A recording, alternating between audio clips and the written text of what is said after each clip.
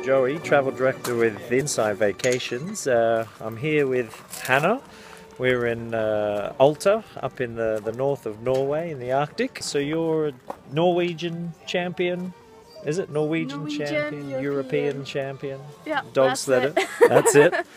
Well, you were here sharing your stories with uh, with our guests after a lovely Hmm. salmon dinner. What's the most common question you think uh, people ask you about? I tell them about how the dogs kind of work in the team.